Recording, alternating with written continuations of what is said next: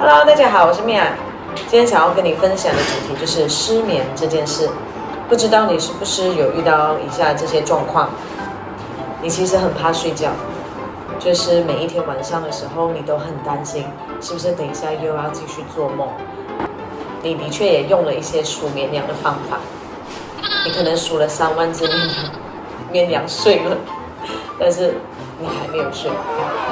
这只要一闭上眼睛，可能你就会想起那些不愉快的画面，所以让你真的是对睡觉已经产生了一种恐惧感。如果以上的状况正是你所遇到的，那么我想今天的影片或许能够帮到你哦。但其实有很多失眠的人，并不是说他并不累，反而相反，就是生理上或者心理上其实都已经很疲劳，但是就是没有办法好好的。睡一个好觉。今天我要跟你分享的方法呢，就是好好的跟自己的身体和解。可是到底那是什么意思？其实很多的人失眠，大多数都是跟自己的心理上的一些状况有关。可能他们现在正在经历的一些事情，让他们感到羞愧、感到抱歉、感到后悔，甚至是感到自责，觉得自己很糟糕。所以心理上有承担很大的一个负担，所以让他们每天晚上入睡的时候，只要是一闭上眼睛，就会想起那些不堪的画面。所以让大家在睡觉之前，不妨可以尝试一下跟自己的内心有一段这样的对话。我把你的手放在你的心口上，跟他说：“今天辛苦了，虽然表现不太好，自己也觉得很不满意。”但是今天我之所以不能够完美的解决这个事情，是因为从来都没有人教会我这个事情。或许事情搞砸了，但是因为今天这个事情，我有意识到我其实是可以更好的解决这个事情的。既然我拿到了经验，那么我下次我就一定会表现得更好。所以我不应该感觉到自己是一个糟糕的人，或者反而我要很庆幸我有意识到这个问题的存在，而且我是愿意去。想办法改变的，辛苦你了。我希望今天能够让你好好的睡个觉，那么明天我们就可以重新开始。所以希望今晚你能够好好的休息。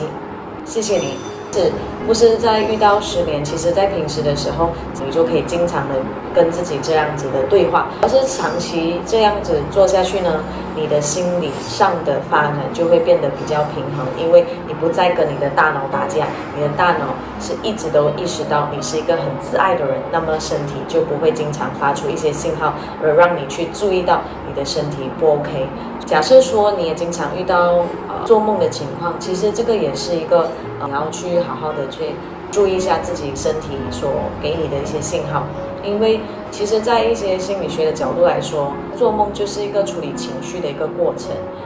如果你是经常整天晚上都有好多的梦，也梦醒了，记得也好，不记得也好，总之你的感觉非常糟糕，那么或许就是因为你在平日的生活上，可能你选择的。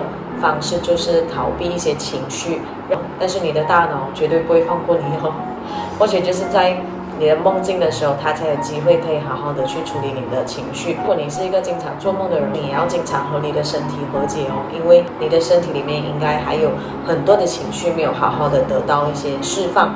所以释放不一定是说你要到处去玩，认真的去好好的面对你自己的内心，也是一个让情绪得到释放的一个很好的方法。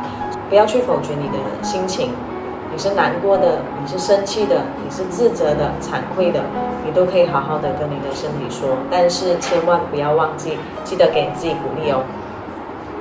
虽然这个失眠的问题或许困扰你，或但是相信，只要我们好好的去认识自己的情绪，其实我们还是能够可以勇敢的跨出这一步。不要去等待别人给你的关心。不要去等待别人给你的善意，因为我觉得其实你根本都不需要这些。你是一个勇敢的人，既然你在你的人生里面度过了这么多的难关，那我相信接下来这一关或许它是史无前例，是你人生中最大的一个坎。但是只只要你可以拿出以前的勇气，重新的让你自己发现你其实是一个很勇敢的人，那么我相信这一段路一定很快就会过去。所以，祝福你，希望你今天晚上可以用这个方法，然后让你睡个好觉喽。如果你是影片的话，记得按赞、留言、分享哦。还有记得不要忘了要按下小铃铛。